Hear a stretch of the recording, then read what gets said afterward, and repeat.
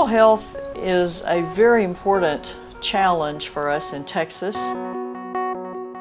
When you talk about health, oftentimes oral health is completely left out. Even in 2000, a Surgeon General said this is a national epidemic. It affects every one of us as individuals as well as professionals working in the healthcare environment.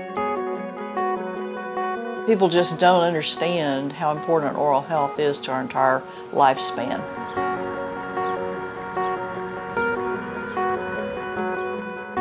Tooth decay is the most common chronic childhood disease in children. When children have dental decay, it can lead to pain. So children aren't concentrating, um, they may have poor behavior, they are missing school. So all of those things basically equate to children aren't learning. I wanted to go over with you um, how to make sure you brush all of your teeth today. Would that be okay? Mhm. All right. And I served a, a program in San Antonio. Uh, there was a young boy named Steven, and we kept trying to figure out, you know, what is it? Why is he acting up? He's not eating, you know, he's real fussy, he's lethargic. We end up referring him out to a physician who then, in turn, came back and said that he had pain uh, internally along his gum lines. And once we were able to service that family and provide him the treatment, you know, within some days' time, he was a totally different child. He improved in his test scores. He was more focused during circle time. All that because of oral health. A lot of times we hear from parents, well, they're just baby teeth and they'll fall out. But we know that that's not the case. Tooth decay can get very severe and can cause abscesses. And when um, that happens, the infection can actually spread to other parts of the body.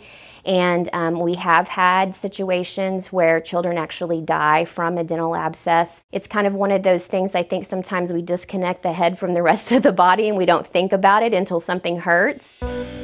86% of pregnant women don't visit a dentist while they're pregnant. And yet, at the time that you are pregnant, you're extremely vulnerable to gingivitis, gum disease, and that can impact the health of the baby. Sometimes it contributes to premature delivery, so you have a low birth weight baby or you have a baby born with an infection. Some of the challenges specifically are that we don't have adult Medicaid dental benefits. There's 164 million hours lost per year from adults that can't go to work because of dental pain. Uh, my name is Ramon Soto. I live in Austin, Texas. I'm I'm a mini blind installer. Basically, my job is pretty physical. When I have to climb on ladders or, you know, do, do strenuous stuff, sometimes they would hurt and I just would never see a dentist. I just figured take some aspirin or, you know, home remedy type stuff. And with my teeth hurting, I can't focus to the best of my ability on my task at hand. I think the major challenge is not having health insurance. So even if you do have insurance, the expenses are very high for the copay. I live check to check. I don't have money to be spending. I don't have money to, I don't have 250 to get a tooth taken out. I don't have 500 to get my teeth cleaned. I don't have it like that. There's no pain compared to a toothache.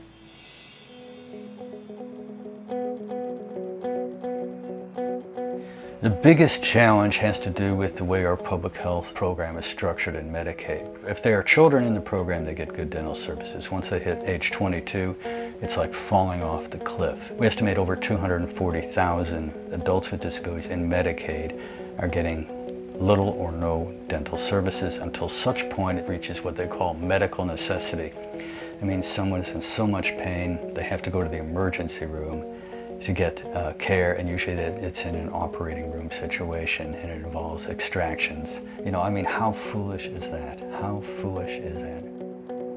My name is Suzy Angel and I have cerebral palsy.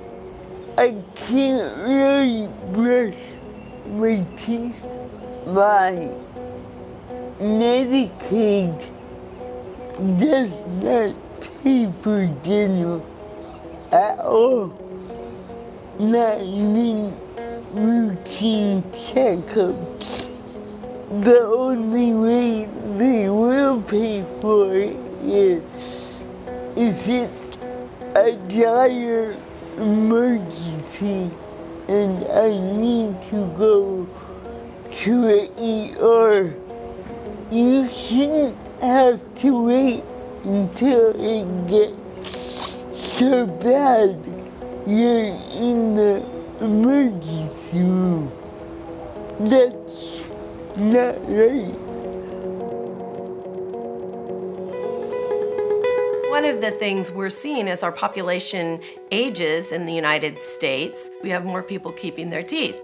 But the flip side of that is as people keep their teeth, that means they will also have some issues with dental decay or cavities. Between 2010 and 2060, our 85 year olds plus will increase three times. That's significant, and we need to look at how we will address this oral health issue. In Texas, I think that if oral health care was added to Medicare benefits, it would make a world of a difference to our uh, elderly residents. A lot of people make the assumption that Medicare covers dental care, and it does not. In order to get dental care, you have to either have nothing, be totally indigent, you know, sold your house, spent down to $2,000, or you have lots of money. But if you're in the middle, it's very hard to get dental care. Now, it's all about quality of life at this stage, and there's no quality of life if you can't eat.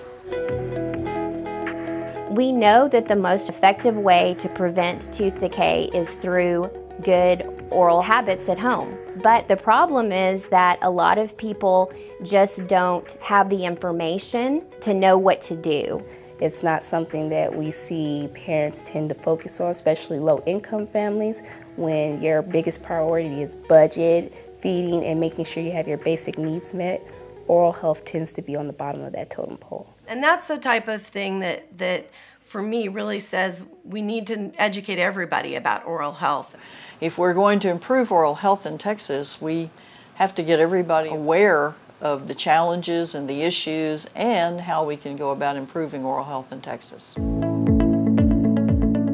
ATOMA stands for Advancing the Oral Health Movement in Texas. This is a collaborative initiative between the Texas Health Institute and the Texas Oral Health Coalition, but it's really a statewide collaborative and an opportunity uh, to bring uh, different stakeholders uh, in oral health, public health, and the healthcare system to talk about uh, common issues that affect all of us. Our objective would be looking at how we can make a difference in various age categories of people in our state. We want more organizations to be a part of this initiative because different organizations have those different perspectives and expertise of defining the same problem and coming up with solutions eh, in an innovative way. You can decide at whatever level you want to work in, but we need people to be able to communicate why oral health is important, that it's not just about pretty smiles, that it's about your health. So you have a role to play. The five work groups that we have are policy, representing the community is the Oral Health Equity Work Group, communication, academia, uh, and interprofessional collaboration, so that's directly affecting practice. There is a direct benefit that you get uh, in terms of using the collaborative work products and deliverables and designing it specifically or using it specifically for your organization and the populations that you work with. The peer opportunity to learn from each other and to have real life experiences and stories that can be shared is a really important part of educating people. When you can share those stories and they're Texans sharing with Texans uh, in their own communities, that begins to get people's attention. They begin to say, oh, that's not just a statistic that could happen to me. When anybody comes together for a certain goal, in this particular case, oral health, we are looking at the benefit of future generations. I want to invest in the community that we serve because we are investing in our future. The one word that I would use to describe this work is love. Challenging. An opportunity. Collaboration. Hopeful. My favorite quote is by Margaret Mead. She says, Never doubt that a small group of thoughtful and committed people can change the world. Indeed, it's the only thing that ever has.